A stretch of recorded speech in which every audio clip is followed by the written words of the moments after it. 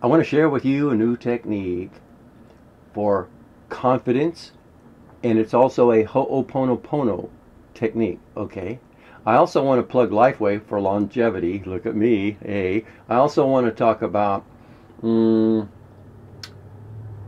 do you think your negativity is something that you should focus on and address, or is it something you should turn away from, like ignore, and start focusing on positivity instead? Okay. Because I hope I remember these things I'm going to ask you about or talk to you about later. Okay, and this I can already tell this should be an outtake, but I'm not going there. Okay, here we go. Next one is uh, if your life is going really, really, really not so good, it's it's going to be okay. All right. Maybe not in this lifetime. to be clear. But it's, it's going to be okay. We'll talk about that uh, as the last thing. Okay, so yeah, yeah, yeah. My first thing is uh, this is LifeWave X39 stem cell activation patches are really doing the job. Look at this. Oh, I gotta do it. This is my. This is gonna be my new trademark. I mean, you know, that's you know, it's like so what, right? Well, if you're 74 fucking years old, that's a big fucking deal, man. So I just just saying. Okay, let's move on past that now. and energy and vitality. Who do you know that's 74 years old that's talking with Vim, Vigor, and Verve? Uh huh. Okay, I'm just saying. Let's move on. Get past those wonderful, miraculous X39 life, LifeWave stem cell activation patches. Okay. All right. Like I said, this is fucking outtake. okay, I want to talk to you about a new phenomena that I just found out about. It's like fucking amazing. It has to do with Ho'oponopono, which is a, a technique, a Hawaiian technique for spiritual growth and betterment. And the way it works is that you pick an issue or subject of address and you say, I'm sorry, please forgive me, I love you, and thank you. Okay, so you can fill it up, fill it out a little bit with specifics regarding your target. Uh, there's a great book, uh, Joe Vitale and the author of the book, or the other, the, the, real guy, uh, made the book, wrote the book, Ho'oponopono. Mean, great stuff. I use it a lot. Well, it occurred to me, what if you and I used it on character traits or beingness instead of, you know, issues. Uh, you know, with an individual, you have something going on with an individual, uh, a neighbor. You say, "I'm sorry, please forgive me, I love you, and thank you." You know, you don't have to face them. You don't have to do this face to face with the individual, but in your inner work, you know, you you do that. But what if you did it with personality traits? You want to build your own character. Okay, so it'd go like this. Uh, confidence, for example. It's something I, I've always wanted more of. I've, you know, mm, shy, quiet, mm, introverted. What would people think if I opened my big fucking mouth and said what I wanted to say? Uh, always being a nice guy. Don't be rude. Don't be a dick. You know all that stuff. Uh, but somewhere in the core of that is confidence or the lack of confidence or self-confidence, right? Okay, so you go like this. Uh, I've been practicing. so the way you do it is that you imagine that confidence is an informational energetic structure in your mind. There's information about what you know is confidence, the definition of confidence, the feeling state of confidence. It's informational, it's what you know, or what you thought of, or read, or seen in other people and concluded. That's confidence. You know what confidence is when you see it in somebody. Informational. But now there's energy involved in the informational energetic structure. That's also the definition of an egregor, by the way, entity. Yeah. But wait, it's okay, because there's good ones and bad ones, right? Uh, so just about everything's a freaking entity these days. but here's the thing. Okay, goes like this. The energy in that thing is your emotional energy of both kinds. The kind you feel when you're feeling confident, walking confidently down the street. Okay, but there's also the energy, the emotional energy of how you feel when you see another confident person. Do you feel a little uh, mm, mm, jealous or envious or or do they annoy you because they're too they're like overconfident and like oh fucking Jesus shut the fuck up. You know energetics. And it's information about how you respond to a confident or overconfident person. So all that information is loaded into the informational and energetic structure and so is all the emotion the positive and the negative. You love them or you hate them doesn't matter. It's at an it's the energy of it. So when you have an energy match of the informational stuff and the emotional stuff,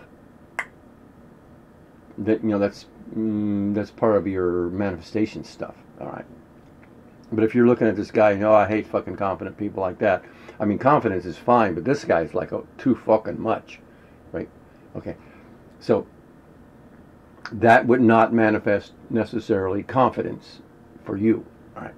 but we're talking about Ho'oponopono.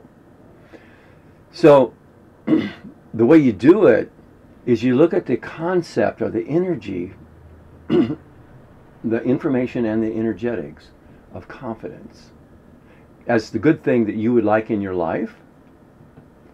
And you basically, I, am going to do a little more than this, but you basically say, uh, I'm sorry confidence. Please forgive me. I love you and thank you. All right. But, but you do it like this. Mm, for example, you, there's many different ways you can do this phenomenon. You don't always have to use confidence. You can use other strength, uh, bravado, strength of character, kindness, love, uh, productivity, uh, industrious. You know, whatever mm, joy. Uh, you can do it with money all kinds of things. This whole Ho'oponopono thing I'm showing you. so you define the phenomena, and we've got confidence here. All right. Now, you say, uh, confidence. Uh, I am so sorry for not allowing you into my life sooner. I know that you love to live life in a confident way. It's who and what you are and you depend on us for your expression and life. And I am so sorry that I have not allowed you into my life. And I've thought bad things about you. I've thought that I couldn't have you or I didn't have you. And oh, I wish. All this stuff. So I'm so sorry. Please forgive me. and uh, you know I love you. Uh, when you're here with me, I feel so good and I just love you, man. You're the best. I love confidence and I love you, confidence.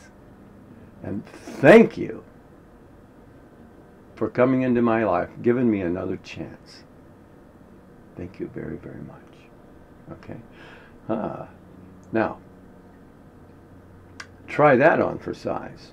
It's a Ho'oponopono technique, but it's also looking at the phenomena of entity egregor pendulums in a new, different way. You'll learn some stuff in the book Reality Transurfing, the first three chapters, about the phenomena of informational energetic structures. They're in the mind. We create them with the mind. But the mass consciousness of humanity is creating similar phenomena, like everybody is creating the concepts of the idea of confidence. and just because it's a pendulum egregor doesn't mean it's bad. That's a judgment. There, for some people, a pendulum or an egregor or informational energetic structure is working for you. Great. People are involved with these things all the time, and they're always in your mind as potential creation, or they're created, or they're potential, but they're not there because you're not thinking about it or focusing it, on it. Okay. See, see how this works? Pretty cool, huh? All right. So there's that. and uh, the next thing is uh, life coach. What? Uh, well, let me put it this way. Um, um, Uh, a philosophical technologist, okay? The technology of phil- philosophical betterment, spiritual betterment. That, yeah, yeah. Anyway, moving right along, this last thing, if your life is going really like, uh, and it's really shitty, just not satisfying at all, something to consider, okay? as bad as it is, and like who the fuck would do this to you? You know, would you choose this life for yourself? How could I have possibly done this to myself, right? So we, we think about prison planets and forced incarnation, and we think about uh, making soul contract agreements under deceptive practices. We've been lied to and and conned by the archons. all true, all possible, but at the same time, from a yet a little higher level of consciousness and awareness, there's the you that this life, no matter how terrible or how good, it's just a little drop in the bucket. It's just an experience for the consciousness, the great consciousness that you are. And uh, by consideration, you can change how you believe about who and what you really are. You are the awareness, the consciousness. And when you pop out of this, you get done with this life, you can tune into that better, mm, higher level of conscious awareness where you're very much at cause over all of your lives and experiences and you can see that oh okay this is just gave it a shot just thought check it out what's suffering all about if you've never suffered and you're in mm, let's say you're running around in the multiverse and uh, you're a god being like a genie out of a bottle you're free and you don't need a master to tell you what to manifest you manifest anything and everything you want. How long or how many ways can you do that before you go, man, I need to I need to mix this up a little bit. I need a little more of a challenge, something something new, something different. And some Yahoo over there has come up with physical universe. You know, sometimes they'll call them the demiurge or something. But there'll be a being somewhere who has imagined a place full of pain and suffering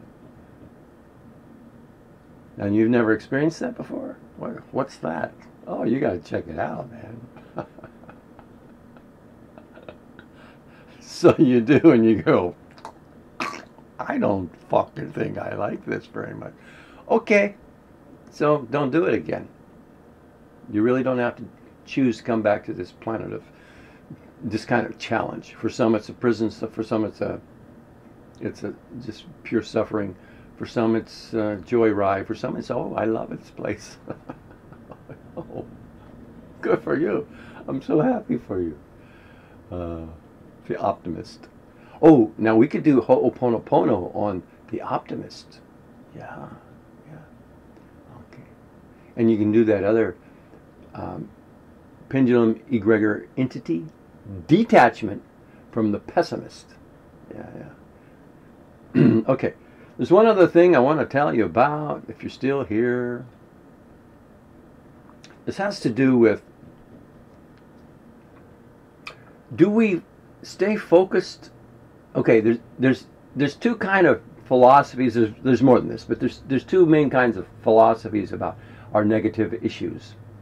One is to look look them in the eye, face them, confront them, do the inner work, mm, like traumatic incident reduction. You look at the past life incidents, very traumatic, and you work through it, and you see this and that, and you talk it out, you cry it out, you just rage it out, and then you feel better. Ah, okay. And then there's the other way your shit gets triggered. Don't give it your attention. This is that seven day mental diet by Emmett Fox. As fast as you can, don't dwell on it. Don't give it your attention. I go, well, that means don't address it. Yeah. Okay. So we take that into consideration and the traumatic incident reduction, past life regression stuff. But now let's bring in the new stuff, entity release work. Because a lot of people are very aware that the entity phenomena, the entities, the invisible life sucking loosh eaters, are a real problem. They're a big issue. And yes, they are. Okay. So most recently I'm going, okay, these, in reality, transurfing, these entity pendulum things will knock you off your happy track or your happy life line, where you can manifest good fortune. And these entity egregor pendulums are pretty well described and defined accurately in that book, Reality Transurfing, first three chapters. So I start reading that. I go, wow, I can see a whole new level of entities that are bugging me. And they're like informational, energetic structures in the mind. But they're entities. And they do take on a life of their own and they survive on their own for themselves and they manipulate and control us. They are entities. Okay. Just like we know about demons and entities. Okay. But we get a new, fresh look at this. And it's time on earth right now to start taking new, fresh looks at things and look at new ways to handle and deal with our stuff. Okay. So I look at this stuff and I go, okay, this negative entity. Hmm. do I do the work to detach from it.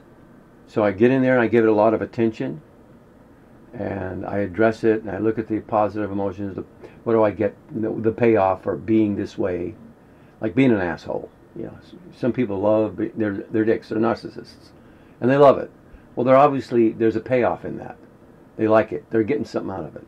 But there's also a downside, and everybody doesn't jump into being a narcissist, egocentric like that because they have rules about being a nice guy or a decent human being. And both of the nice guy, the narcissist, and the decent human being, these are pendulums. These are entities. These are informational, energetic structures in the mind because they're all ideas and emotional stuff, structures in the mind. So we can detach from the ones we don't like we can take on consciously the ones we do like and let them serve us and we work with them through them as them it's our mental phenomena and mental emotional stuff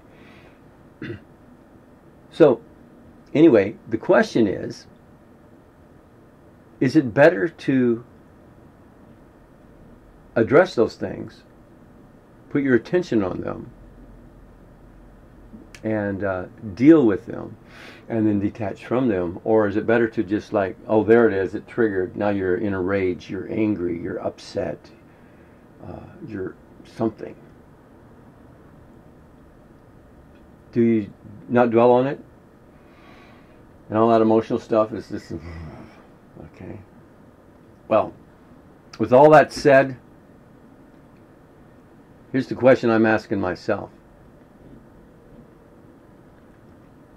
are it, what's happening here? Let, let's look at these as entities getting into your space. Okay, this can be any kind of entity now. If we deal with it and get rid of it, yay. But I've been doing this for many, many years. You deal with this one, you get rid of it. You deal with another one, you get rid of it. You deal with another one. Is it possible that these entities are seeing that other entities are getting noticed, getting some attention, and getting dealt with, and then leaving? And they like it. They want attention too. So they keep, no matter how many you get rid of, there's going to be more coming. I go, oh, fuck, I hope that's not how it works. Because what I do know is it's pretty much a never ending fucking story getting rid of these things. It's, it still seems better than not addressing them at all. But here's this other approach you ignore them they come in, they you know, like an anger thing, and you're just so fucking pissed, and you want to dwell on why you're angry, uh, who caused it, what they do, what can you do to fix it so it doesn't happen again. So you know, and you know what is it you want to stop or make happen, and your adrenaline is going, and you're, you know, you're. Uh, and it seems like the right thing to do is to act it out, talk it out, do something, get this adrenaline out of your system or talk therapy or something. Seems like a good idea. So, okay. But it, it will come back often. Maybe not always, but most of the time. Anyway, the other approach is ignore it. Now, this, this theory is what if you ignore it and the other entities that are seeing that this entity is getting ignored, and that some time passes, maybe a few minutes, maybe it's a couple hours or days even. But for me this morning, it only took uh, a few minutes. I ignored it instead of addressing it. I felt better. It, whatever it was stopped bothering me. The informational energetic structure, my mind stopped bothering me the tulpa stopped bothering me. The the egregor. A tulpa is an individually created entity, thought form, and an egregor is a group or mass consciousness created thought form. That's the difference in the Muslim names. So anyway, whatever it was, stopped bothering me, and I got into a better feeling state. And then I did that Ho'oponopono thing on the confidence and stuff. Then I came in here and made this video. So the question is, what are you, which do you think is the better way to go at it? You get this shit coming into your space, do you do do you address it somehow and deal with it or do you do your best to ignore it and avert your attention onto the positive and do whatever you do to mm, manifest a better life or experience a better day that way. I want to know what you think because I haven't decided yet. This just came up today. Yeah. It's like, but when I ignored it, because I normally like to address it, and I have this urge to address it. I want to, I want to get in there. I want to find out why the fuck am I always getting triggered by this shit? And see, I can work myself up right now, and I love that testosterone, that adrenaline. there, there's a sense of rightness and pride in it. Like, God damn it, I'm going to figure this out. See how good that feels? But in a different kind of energetic way. So I just worked myself up. That is what we call a pendulum or egregor. And that particular one is that angry motherfucker. I am being the angry motherfucker. I matched my thoughts were a match to that thing that's just sitting out there in mind space. But there are other people that know what an angry motherfucker is, whether they're uh, a victim of one or they are one themselves. And whether the angry motherfucker right now is snoozing out or ranting and raving somewhere across the world, that angry motherfucker right now is has this construct, this informational energetic structure in his or her mind. And that's a pendulum. That's an egregor. And we only attach to it in the mind, the mind of man, the mind of humanity. If we think a thought or see something in the world that causes us to think a thought,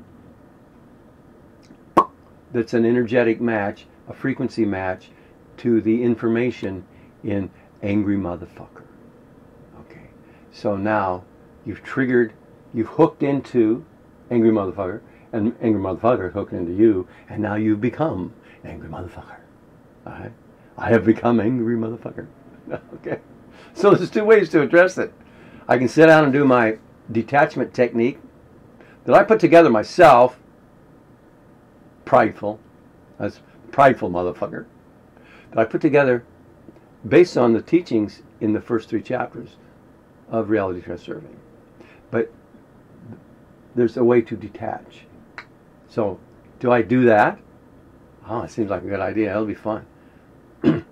or do I turn away from, you know, don't give angry motherfucker any more of my attention. oh, angry motherfucker. I love you too. But I'm busy right now.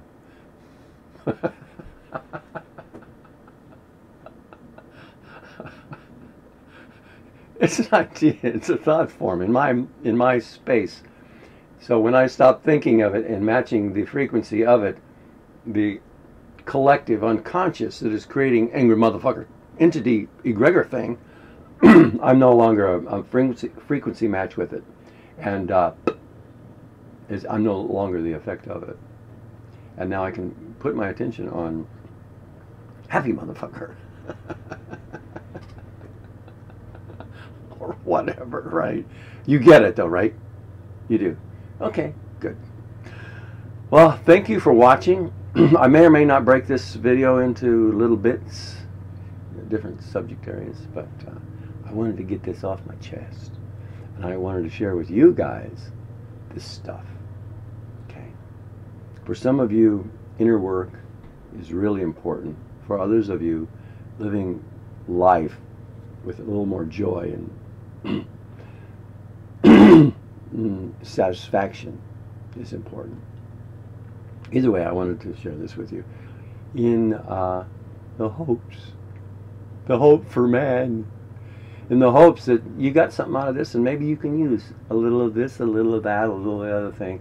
Not always my shit, you know, everybody's got something to fucking say about this stuff. And uh, you can usually find some good out of almost all of it. Yeah, even the really shitty stuff. It's got some good hooks, uh, or it wouldn't it wouldn't survive as a as a thing. Okay, that's all I wanted to say.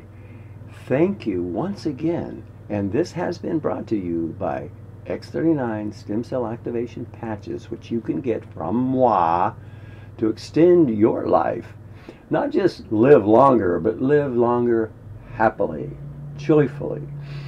With vim, vigor, and verve, energy, the stiff joints, no more. The oh, the grumpy old man syndrome, fucking gone. Yeah, yeah. You'll have the energy to do your exercises and workouts and stuff too. I'm just saying. X39, stem cell activation patches. Fucking great shit, man. Okay. That's all. I'll talk to you later, all right? All right. If there's anything you would like me to talk about, please leave a comment below. And thank you for your suggestions on podcasters that I can contact. I'm, I'm on it. I did a podcast yesterday. I'll get it uploaded on my channel pretty soon. Okay? All right. Thanks for watching, everybody. Bye bye.